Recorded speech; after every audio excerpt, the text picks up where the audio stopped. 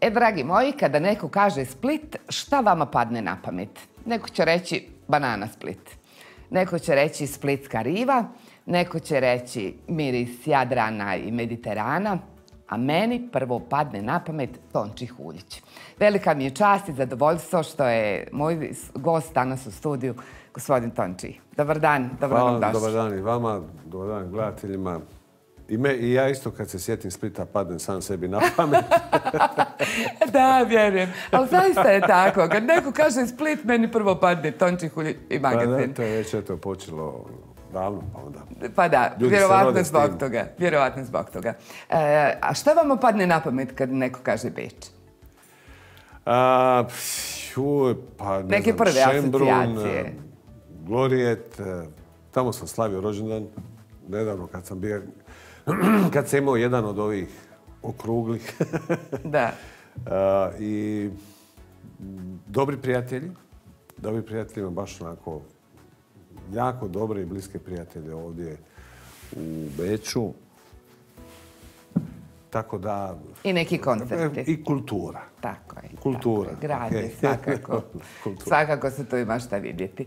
E, kojim povodom ste e, nam stigli u posjetu? Dakle, ja sam došao ovdje do, do kraja e, upogoniti koncert, e, svoj crossover koncert, koji, bi trebao, koji će biti 19.6. I to je zapravo prvi komercijalni ono, ticketing koncert koji se održava u kurs salonu, zapravo u parku kurs sa salona, na, na oni, kako se zove, Schubert terase i A, to će biti prvi predivno. nivo, drugi nivo i tako dalje. Tamo se inače održavaju gotovo svakodnevno koncerti unutra. Ali ovaj u parku je zapravo po, po prvi put i da je komercijalni koncert. Tako da mi je to bio jedan izazov, pogotovo ovo čime se ja sad bavim i polako upoznajem ljude sa tim. Ljudi u Hrvatskoj su već upoznati, bili su na tim i takvim koncertima i oduševljeni su. I sad je to jedan, zapravo taj internacionalni program. Ja se već naime 20 godina bavim crossover muziku. Moji najveći uspjesi su zapravo, ljudi me u regiji znaju po svemu onome što je bilo počevši od magazina, pa onda e, počevši od moje, nastavivši sa mojom kompozitorskom karijerom koja je stvorila veliki broj imena koji su i, I danas regionalni. hitova. veliki broj. Zaista ja imam bezbroj. 1500 prijavljenih pjesama. To je, Da. m, to je stvarno broj da sam se ja prepao kad sam to nekad nedavno vidio, kad sam dobio neko izvješće Zampa, bilo je 1490 i u međuvremenu sam još ne- nešto napisao muzike Znači, za seriju. zaokružili ste na taj Ali ono 1500. zapravo, ti moji najveći uspjesi su vezani za crossover muziku koju sam počeo raditi 2000. godine sa mm, partnerom uh, Mel Bushem. On je čovjek koji je stvorio zapravo sve velike one ev- evropske zvijezde koje su došle i svjetske zapravo, koje su došle iz Velike Britanije. Pa jedan od tih proizvoda, naš zajednički prvi bio uh, string quartet Bond, i odmah prva pjesma je bila zaista svjetski hit, 56 tjedana je bila na Billboardovoj top ljestvici, onoj pravoj, u, američkoj, dakle svjetskoj. Mm, e, muzika u filmovima, e, blockbuster filmovima, ne znam, Triple X, e, Casanova, je pa smo nastavili odmah sljedeće godine sa Maksimom Mrvicom, mislim da i njega znate. Kako da ne? On je ovaj, toliko postao uh, preko noći popularan u Aziji da smo ga preslab, da, da ga nismo stigli razvijati u, u drugim krajevima svijeta. Jer, na primjer, njega je Kina kompletno usisala sa godišnje blizu 70-80 koncerata. I to svake godine. Ovoga trenutka mu se može kazati 20 godina nakon da je on tamo i dalje najveća pjanička zvijezda, iako jedan od najvećih pijanista ovoga trenutka, trenutka tako živući je Lang Lang. Tako je. Kineski Imala sam čast biti na jednom njegovom koncertu u. Trogiru. E, od, valjda od Maksima.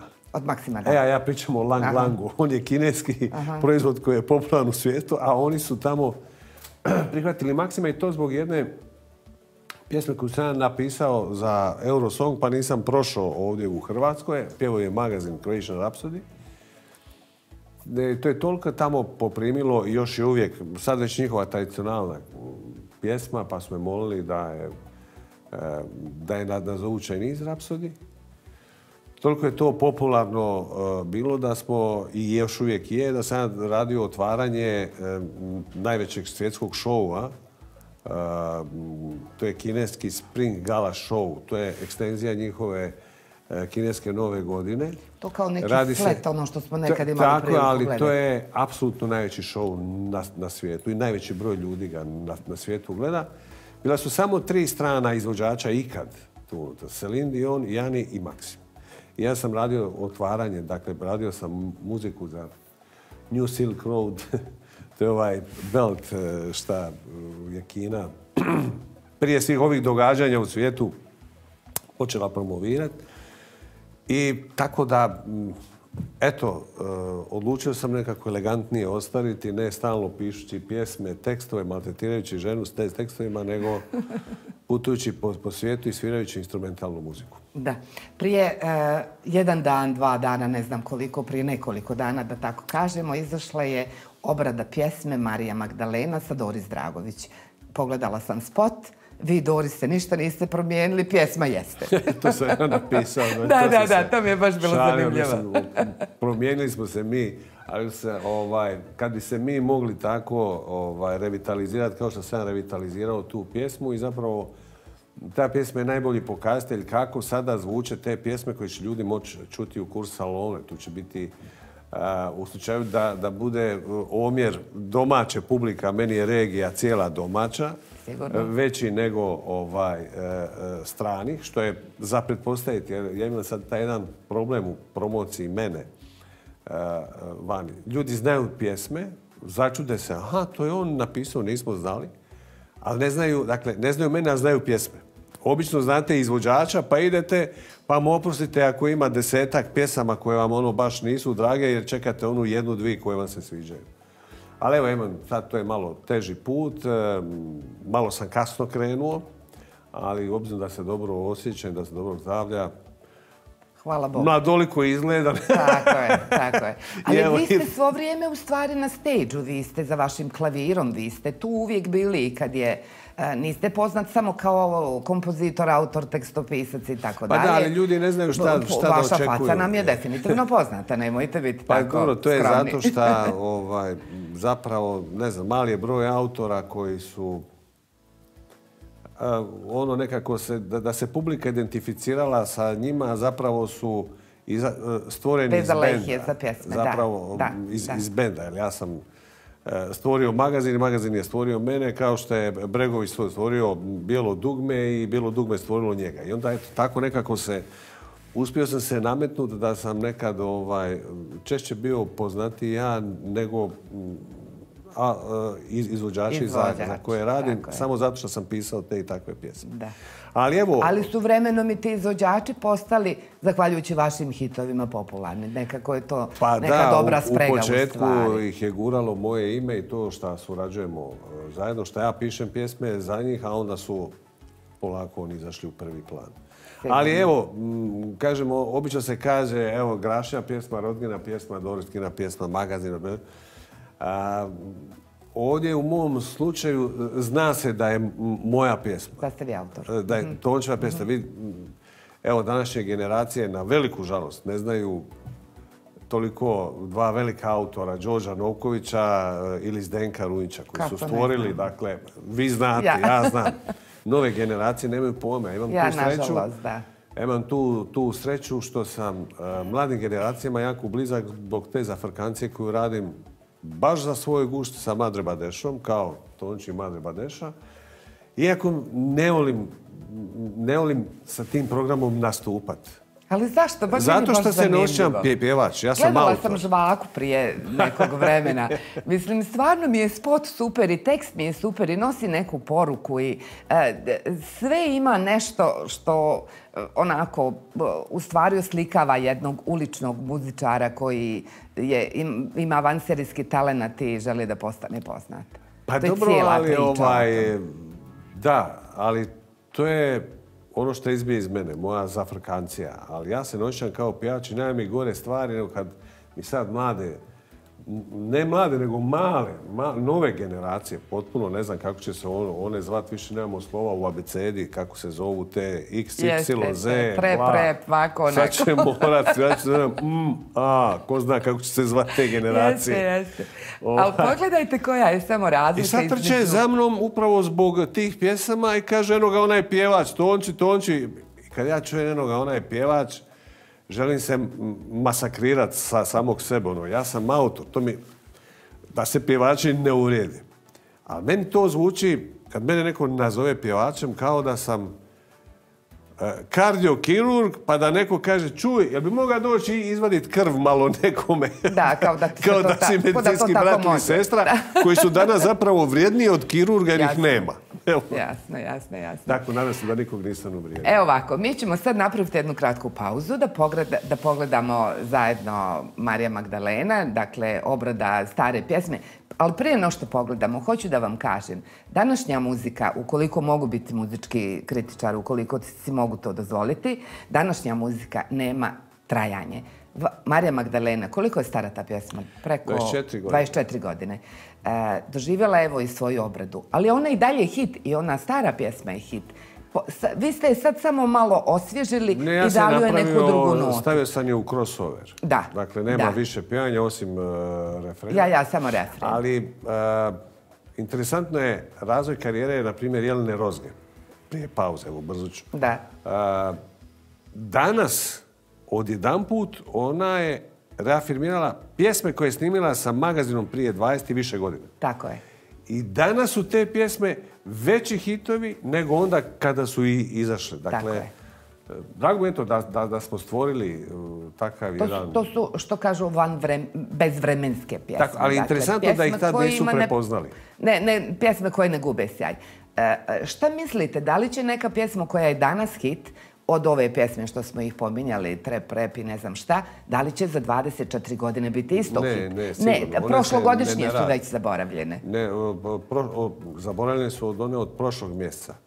Tako je, tako je, bravo. Međutim, to je jedna evolucija, civilizacije koja polako dolazi svom kraju.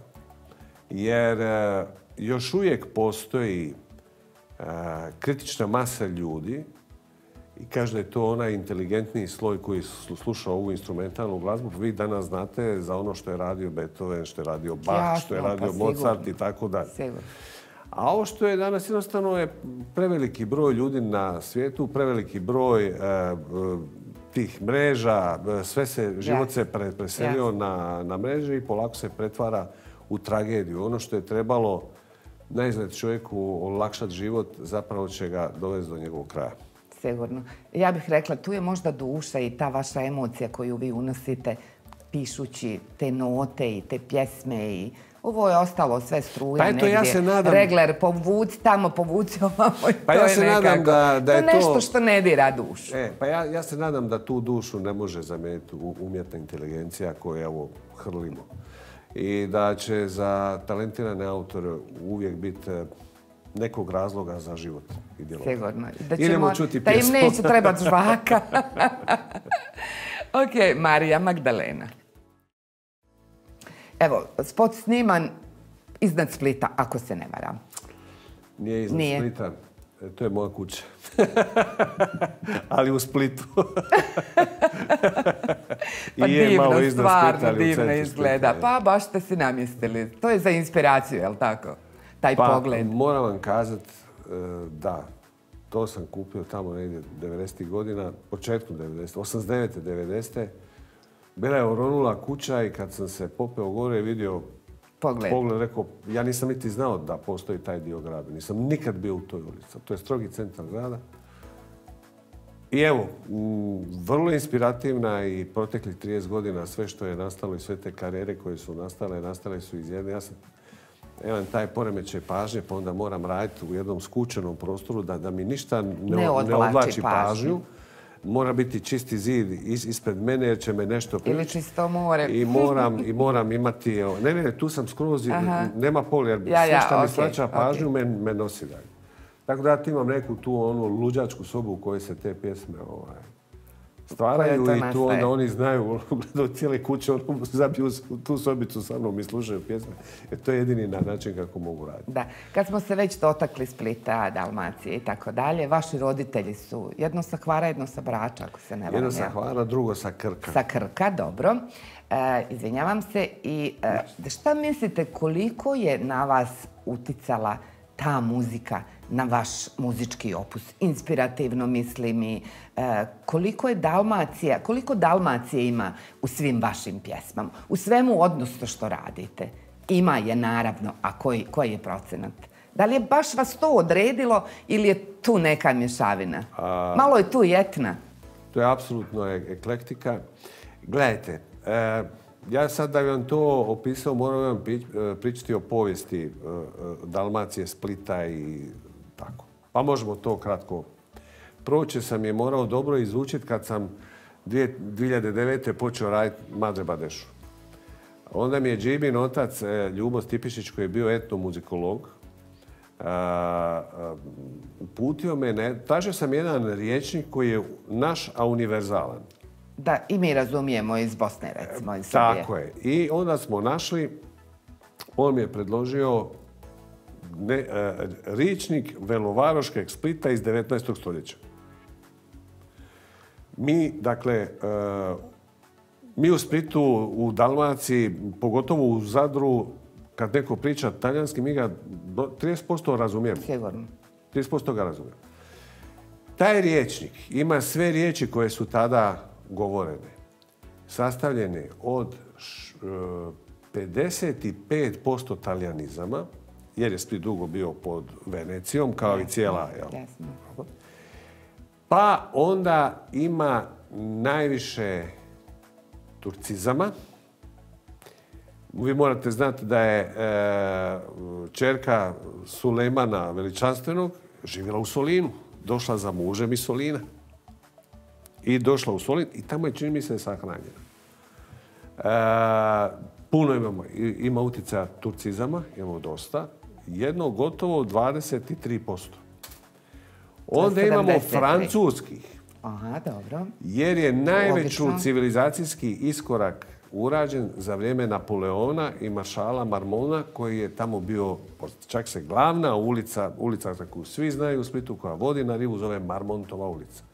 On je čovjek koji je zapravo e, do- povezao Dalmaciju, dakle napravio prve ceste, ne ove od asfalta, nego one kazarme koje su bile, ali povezao to napravio navodnjavanje Splita, doveo, ok, još je Dioklecijan u, u, u, u prošlosti, jel? E, jer mi smo svi nastali iz rimske provincije, jednog hira, jednog od pametnijih rimskih careva koji se povukao prije što su ga ubili i našao idealno mjesto za, za život. I evo, danas sam ja u, u, u tom životu. I sad gledajte, mi objektivno nemamo mi svoju muziku. Ja kad sam pitao njega, dobro, koji je naš e, instrument? Nije, nije mandolina, to je talijanski. Harmonika? Nije. Pa nije. Nije harmonika. Znači, tamburica? Nije. Pa i nije. Nije. Eto je tamo pre- preko puta iz, iz Mađarske. U, šta bi naše bilo? Međutim, to sve skupa je stvorilo a, sve- e, jednu kulturnu nad- nadogradnju i jednu eklektiku. I ja sam tu eklektiku razvio i to moram priznati, tu ću uvijek biti zahvalan prijatelju Bregović. Mi smo stvarno uvažali jedan drugoga i za vrijeme jugoslavenskih turneja i, dogovarali ko će krenuti iz koje kraja ondašnje Jugoslavije? E, jer je inflacija bila 1% dnevno i onda je bilo bitno u velike gradove doći početkom mjeseca dok je Dok ono... ljudi imaju para. Ne, ne, ne dok, dok imaju para, nego dok najviše vrijedi dinar u odnosu na marku. da možete odmah na brzinu mijenjati i onda je bilo bitno ići u velike gradove na Pa ste se vi početku. dogovorili, jedan od Triglava, jedan od Ta, otprilike to je bilo, jesno. Da, da. I onda e, je nastao Dalmatinski magazin. To je Sad vraćam se ponovo e, u, na- u vašu biografiju. Nakon što ste završili osnovnu mu- muzičku, srednju muzičku, je li tako? Tako je, upisao. pravo, Pravo. pa ga niste ni završili nikad, je li tako? Nisam jer se I desilo kokolo, i ja sam, ja sam uh, apsolvirao pravo. Evo ja to Aha. tako kažem, apsolvirao, ostalo mi je e, to par vam daje možda taj duh, vi ste još uvijek student. Pa ti, da. Ostalo je jedno 5-6 ispita i stalno je bilo ok, sad je Kokolo, pa turneja krenula prva Jugoslavenska i onda izaći ću na jesenski rok, pa je onda došla Piši mi, pa turneja, ono, bila je turneja po Rusiji, po SSR-u mhm. zapravo tadašnjem. I onda se desio taj, kad sam ja ušao u pop etno i nekako e, postao rodonačelnik tog izričaja koji se nazvao etno pop. I to je bilo ono iskorak sa Pišim i Tamara oko moje sanje, odmah sa prvom pločom magazina, koja se odmakla od onih talijanizama koje su bile sa Kokolo i ne znam koje su tako sve pjesme bile iz te prve faze kad smo zaista postali i makli ovaj prefiks dalmatinski i ostali samo magazin, smo imali mhm. puno veće aspiracije od toga. I preko noći se stvarno sve desilo i to je bila jedna kontinuirana turneja, ali zaista kontinuirana turneja do raspada zemlje. Da. Kolika bi nam prostorije trebala da sporedamo sve vaše nagrade? Pa, kad bi došli u mene doma u, u Split, ja imam možda izloženu jedno 10% tih nagrada. I djeca se bune da maknem to, da, da to ne može živjeti od toga. Onako malo sam to napravio kao dekoraciju samo jednog zida, onako dugog 20 metara i to sve skupa. A ovo drugo slažem, žal, ono, imam di staviti, ali nekako ono, iznajmljujem te kuće, pa onda bi to vjerojatno gosti ono, masnuli. Tako da stoji po, imam neke prostore koje kupiš, poslovni prostor, pa unutra držiš sve te drangulije. neko bi otvorio kafić, a meni to služi za držanje ovakvih stvari. Ali jednog dana unucima će to nešto značiti. Njih sad moram iz početka upoznat koji je dida. Da. To jest unukama. Da. E, E, kako ide e, redoslijed?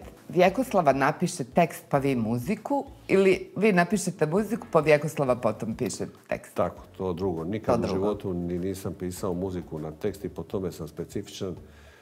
Recimo, e, songwriteri starinskog kova, kao što su bili Runjić i Novković, oni nisu mogli, mogli su, ali nisu bili skloni tome pisati e, e, pjesmu iz glave. Znači ti sad sjedneš i nemaš ništa. Oni bi ipak uzeli tekst pa imaju neku emociju, od nečega krenu. Ja krećem od čiste nule.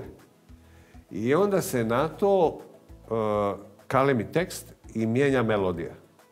Tako da u konačnici znači, to dođe, ne, tako je. Recimo danas je mm, neophodno imati puno više tih sitnih ne, gušći, ne više ona pravilna E, melodija i metrika kakva je bila e, prije u osmercima, pa onda ćemo refren u deseterac i tako dalje. Da je to sve, danas je to sve, negdje moraš naći kompromis sa ovim što radi trep, sa tom gomilom teksta, sa gomilom sitnih nota. Recimo, italijani su najbliže tome, oni su to odlično napravili. Meni je Sanremo i dalje... Hit festival. da. Ono, nešto gdje učiš kako treba razmišljati muziku. Šveđani su profi kao ja, oni su ono hladno i izračunato kad dođe ja nisam hladno. Ja nešto unesem emocije, oni se moraju truditi da je unesu, ali oni su tvornica klasične pop škole. I Max Martins koji se ocelio iz iz, ovaj, zaboravio se kako se zvao onaj njegov bend eh, iz kojeg je nastao, isto popularan švedski bend, Zaboravio sam kuće se više... Ne znam, sve, sve šta mi ne treba u mozgu. Jedina mi asocijacija na Abu. Abu, ne, ne, ne, bile su ove... On je sad veliki uh, autor, songwriter u, u, u Americi. Baš piše za sve svjetske zvijezde.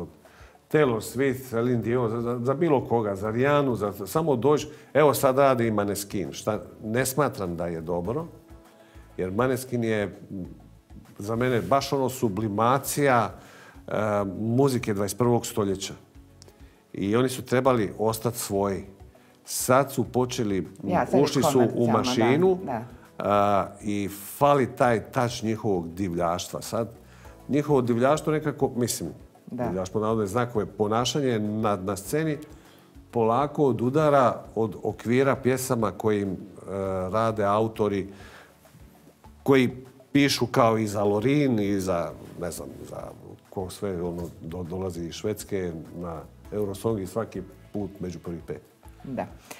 E, kojom ćemo pjesmom sad obradovati naše gledalce? Koja bi ujedno mogla da bude uvod u koncert koji nas očekuje 19. Ha, pa e, već Marija Magdalena ona je bila, je, čuli, dakle, uvod u tu priču, a sad jednu pjesmu za koju vjerojatno ne znate da je moja, zove se Viktori.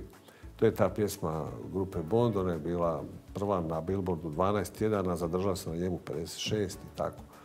Pa evo, pušajmo Viktori, ali u mojoj verziji. U vašoj verziji Viktori. Dobro, Viktori prepoznatljiva muzika zaista. Pa da, vrlo često je možete gledati na, na filmu jer se stalno repetira na ovim, ne znam, mi to zovemo Cine Star 1, 2, 3.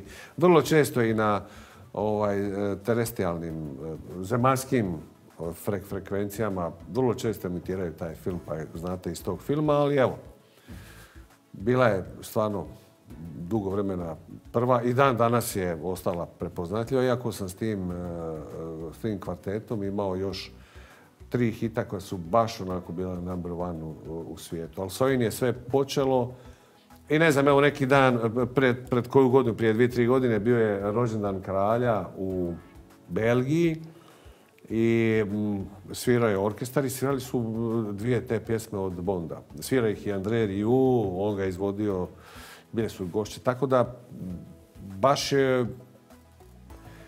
mi bila inspiracija da, da kažem, oh, pa dakle ja to mogu, idem ja tim putem. Bravo. E, još jedan projekat e, koji je meni onako zaista se baš, baš dopao je mediteranska, čini mi se da se tako zove, mediteranska pop misa. To je, e, dakle, nešto od čega se, što mi kažemo ovdje u, Austriji, Gänsehaut, dobiješ, dakle, ježišce.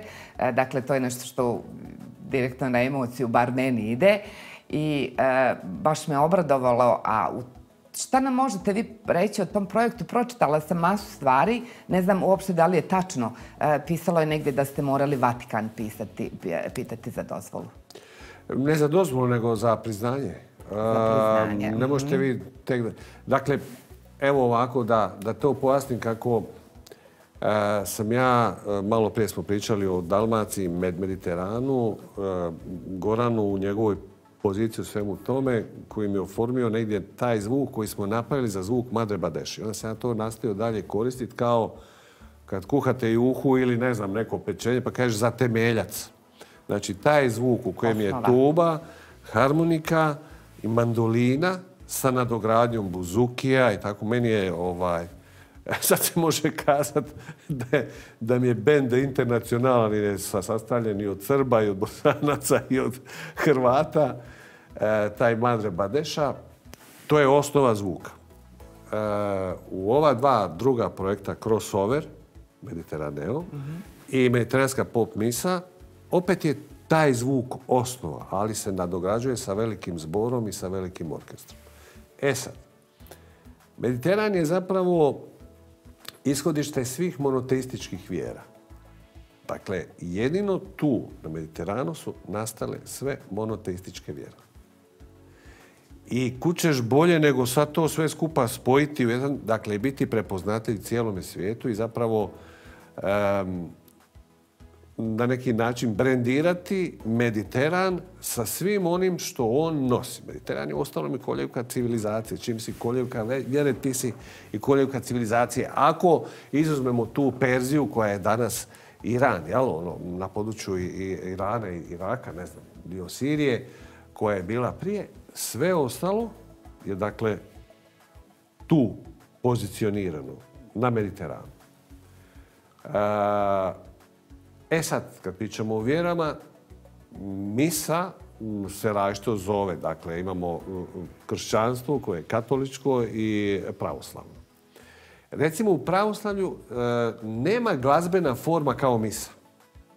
Dakle, misa nije glazbena forma. Misa je obred. Nedjeljom dođeš na, mi to zovemo misa, e, tamo dođeš na obred.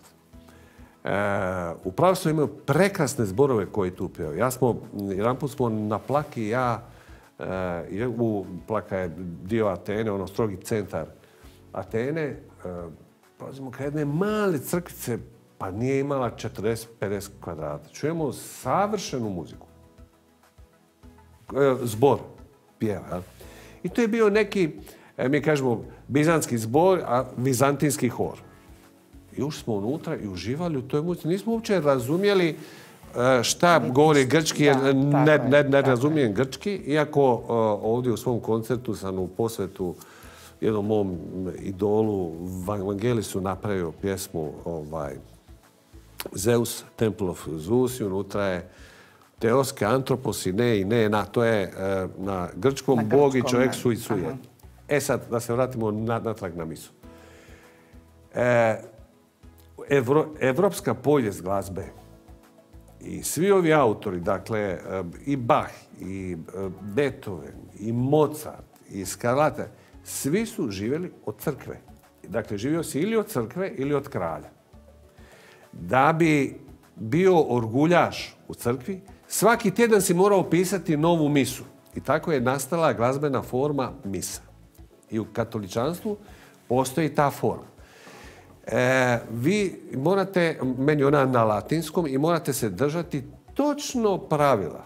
Svaka Da, da, riječ, standarda nekih koji su tadašnji sva, tako je, zna se dokle ide slo, slo- sloboda, a zna se čega točno se treba paziti. I ja sam zapravo napravio prvu pop misu na svijetu.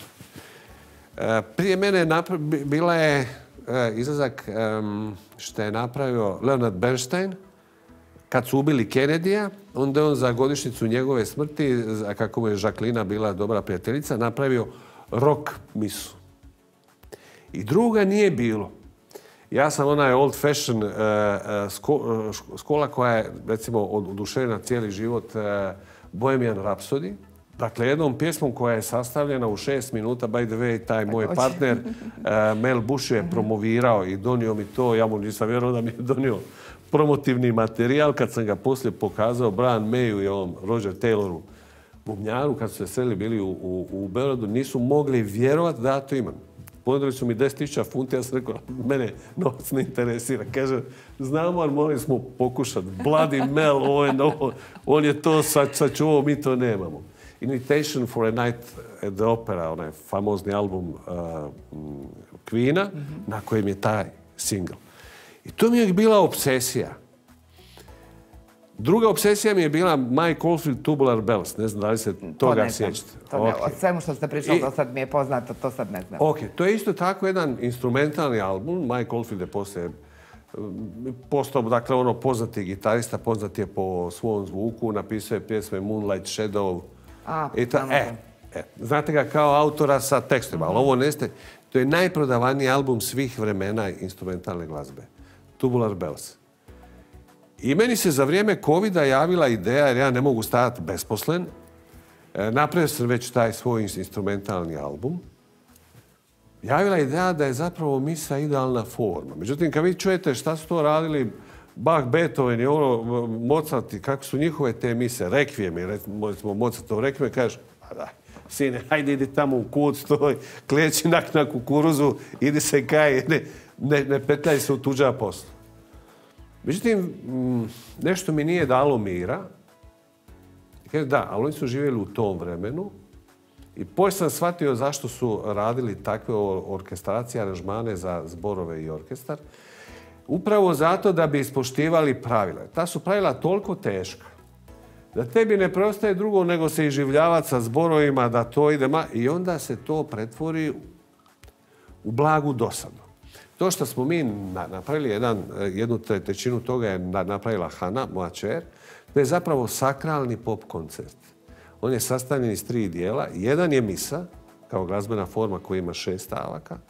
Drugi je dies ire, to je inače dio mise posvećen mrtvima i on je uvijek onako malo teži. I onda sam ja taj za zadatak dao Hani koja je diplomirala i kompoziciju i orkestraciju, a i pjeva na jedan vrlo čudan mm, način. E, I ja sam napisao za kraj još Ave Mariju. Tako da je to jedan mm, odličan koncert. Mislim da ćemo e, ga promovirati. E, Misa je izašla 11. 11. prošle godine. E, 11.11.22. Stohanini sretni brojevi. E, Amerikanci su je iznali i tamo ćemo imati premijeru pred, e, mislim, u sljedećoj godini jer smo e, teško je doći do Carnegie Halla, pogotovo glavnog, onog velikog Carnegie Halla. Obično ljudi kažu, joj, bili smo u Carnegie Hallu, su bili onim ko što imate Lisinski i, mali Lisinski. E, takvih malih Lisinski i mali Carnegie Hallova ima četiri. U okviru tog, a onaj veliki koji prima 3000 ljudi je jedan. Tako da meni e, agenti tamo u, Americi već e, rade na tome e, za promoviranje tog CD-a. A ovdje u Europi bi se sad sudržao pitanje sad diplomacije gdje bi to moglo biti izvedeno. Da. Ako, se, ako to uspije, to će biti prvi put u povijesti. Da. I neka to bude Beč. Zaslužio mm, Neće biti Beč. Mislim, bit će Beč, ali, ne, ali ne kao prvi put ne kao premijera, na, na, svijetu, u povijesti i tako. Ništa, samo sam pokušala. Dobro, dotakli smo se vaših roditelja, dotakli smo se vašeg porijekla, kako ste počeli, kako je to sve trajalo, dotakli smo se i vaše supruge. Ajde, redi da se dotaknemo još i djece. Pomenuli ste samo Hanu. E, Hana je, evo vidjeli smo je već u ovom spotu Marija Magdalena, pomenuli ste kao dio pop misije i negdje učestvuje s vama uh, je, svemu da, tome. Ona je meni Htjela sam pitati za karijeru vaše djece. Ona je dosta meni slična. Sad, što se tiče karijere, sad je novopečena mama jedne vrlo živahne djevojčice koja, koja joj ne da mira jer djevojčica spava ko Ronaldo, ono, pet minuta u satu i sve ostalo je. Tako da je uglavnom neispavana, ali da, bit će ovdje u Beču. Biće tu i Lorena, e, to je moja nova, ajmo kazati, zvijezda mlada koju sam e, uzeo iz jednog e, tog singer, ne, ne, singernog. Aha, hora. Trupeg po Pajdol, kako se zove. Ovo gdje ja sjedim po, žirima, ali neću... Jasno, jasno. Takmičenje e, neko muzičko. Mm. I, ovaj, I polako i strateški radimo e, karijeru. Ona će biti. Hana će biti. A, čim je ona tu, ne mogu izbjeći Zeta, pa će vjerojatno i Zet. ono, do... Što ste tako na kraj jer, ću mora... Zaslužio i Dobar je graš. da, dobar, najbolji na svijetu. Ono. Tako je, tako Pa će se pridružiti, možda ćemo ono, otpjevati Providencu na krasno zvuči to je... A imam, imam vrlo interesantnu e, klasičnu obradu pjesme ako te pitaju. Vrlo interesantnu. Kao što je bila i ova e, Dva puta numra što sam pisao za, e, za Olivera tu su ljudi već po, prvi put vidjeli u stvari gdje ja stremim. To je izašlo 2019. prije mog prvog nastupa u Zagrebu na najvećem zagrebačkom trgu na Zrinjevcu u okviru klasika. To svirao sa filharmonijom i zborom. Bilo je 200 ljudi na bini. Stvarno je bilo onako impresivno. E, svi ti lijepi trenuci su istovremeno i stresni trenuci. Jer nikad ne znate kako se taj dan možete osjećati vi, hoće li dirigent malo zatajiti ili će zatajiti jedan od velikog broja izvođača. Ja i ovdje u, u normalno moramo paziti na, na, na troškove, ću biti e, u pratnji 40 ljudi. Tako da je to e, zbor, orkestar, moj bend, ja koji sam težak, ko si oni zajedno. Tako da mislim da će to biti jedna e, čarobna večer na, čarobnom mjestu. Taj kurs salon mi je uvijek bio u strogom centru Beča i taj park onako... Biće to, biće to treba ugođaj doći, zaista, bit će ugođaj za pamćenje, pa sigurna sam. I isto sam tako sigurna da možete e, da stavite cijenu karte kakvu hoćete, s obzirom da je to što nas očekuje, takav doživljaj tamo je neprocjenjiv. Dakle, znate i sami kad želite ići na Rolling Stones, karta je 150 eura, kad želite takvo nešto slušati isto tako, dakle, mislim pa da je ja to sam, eh, ovaj, mi smo ipak pretpostavili da će tu puno više doći naših ljudi. Ajmo se svi zvati naši. Da, sad tu. Da, da. BKS, ovaj, kako smo rekli na početku. BKS banka. tako da, da sam ipak u programu uvrstio dobar dio tih pjesama koje ljudi znaju, ali ja ih sad izvodim u instrumentalnoj vezi sa zborom. Tako da to je, jedino to možete čuti sad i pite Boga kada, e, vjerojatno ne tu u Beču, nego negdje drugdje. Sljedeći put ću doći sa, sa misom. Jel? Ali, ovaj, e, uglavnom, to je instrumentalni koncert, vrlo zabavan instrumentalni koncert. Ja mogu samo kazati da ljudi odmah na prvu pjesmu, kad je pre, prepoznaju, počnu plesati. I uopće svi ti moji instrumentalisti su ljudi koje ne možete, nisu svakodnevni, ne možete ih baš svaki dan ni vidjeti, niti čuti. Ovaj. Baš su specifični i jesu za pokazat ih svijetu. Baš jesu za pokazat svijetu. Ja sam odustao za ovu priliku. Mi inače kada radimo te koncerte, potpomuknuti smo ledom i e, ekranima koji donose i taj intenzivan, napravili smo jako skupite e, ekranizacije koje, koje te uvode baš da se ti osjećaš da si u tom nekom, da je došlo ljeto, jel? Međutim, ovdje ispred kurs salona to sam sve makao. Makao sam i sve one, e, znate, one građevine koje morate dignuti, željezariju, zastaviti rasvjetu, razlaz i to je rekao, snađite se kako god znate. Meni je glavna scenografija kurs salon i ne želim da mi se to sakrije. Mi smo na toj terasi, publika je dole. Mislim da će to biti prekrasna večer, osvijetlit ćemo cijeli taj. E, koncert počinje malo kasnije, zato što e, je to najduži dan. da. da. Tako da ćemo negdje oko 21.45 e, početi, jer jednostavno je baš sad po suncu da počnemo nije, nije baš neka priča. ono dan, ipak treba neka mala čarolica koju ćemo, vjerujem, stvoriti sa e, minimalnom rasvjetom koju smo tu stavili, jer hoćemo da smo tu zvijezde, ne znam, ja, orkestar i kurs salon. Sigurno i, i cijela publika. Biće je sigurno, e, jer e, moram vam priznati, rekla sam već nekim prijateljicama da dolazite u Beč, da ste mi gost u emisiji i već su me pitale sa kim dolazi, koji je repertoar e, i gdje možemo kupiti karte. ne znam šta da očekuje od Šta da očekujemo, da, ja od silnog opusa ovog o kom smo pričali. Prepustite se, dođite. I uživajte, tako je. Čućete nešto što niste do sad čuli i bit će vam super. Tako je. Ja nekako volim reći kako muziku dijelim na onu koja mi tjera suze na oči ili tjera noge na ples.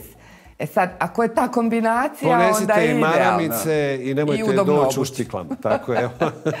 Eto, pa to neka nam bude onda i moto za koncert. Ponesite maramice, jel, papirne i nemojte doći u štiklama, drage dame, muškarci, svakako neke papuče ili nešto. Biće i plesa, biće i suza. Biće je. E, zaista dobro emocije, sve je napravljeno od ekstremnih emocija, ali ima i pjesama koje znate. Iznenadit ćete se da znati ove dosta tih instrumentalnih pjesama, tako da. Tako je. Nešto nam stiže zaista e, vrijedno pažnje u Beč 19. 6. 19. juna, kako hoćete. E, lokacija je savršena, znači da niste mogli ne bolju izabrati, ja mislim. Do sad niko nije. To je prvi komercijalni koncert u kurs salonu. Tamo imaju koncert, ali su to za, ono, za grupe, pa sviraju bečke valce, pa plešto. Ali ovo je baš komercijalni koncert u parku. Dobili smo te dozvole dokle možemo biti i tako, tako da. Ja se stvarno unaprijed već radujem tom koncertu, bit ću tu. Tako da, eto, vidimo se 19.6. Hvala. Hvala vama što ste e, bili naš gost danas. Danas je Mutertag. Ne znam da li znate. Mutertag je e, dan majki u, koji se obilježava u ovom dijelu Europe i u Hrvatskoj, je li tako? Čini mi se da, dan je, majki. Je, nego nama je ostalo ono, sve to zajedno kroz ono majčin dan i dan žena. Još e, uvijek, a ovo je malo drugačije sad. Da, pa evo ja ću iskoristiti ovu priliku da e, sa ovim gostovanjem sam u stvari vama svima, drage majke, e, uljepšala ovo nedeljno popodne. Hvala vam puno što ste bili moj gost. Idemo mi slušamo, slušamo, slušamo šta? Slušamo... Uh, šta smo rekli da ćemo pustiti za kraj? Šta mi je prije Dva put sam umra, jesmo to rekli? biserne ili dva put sam umra. Ajmo dva put sam umra. Uživajte, dragi moji. Hvala.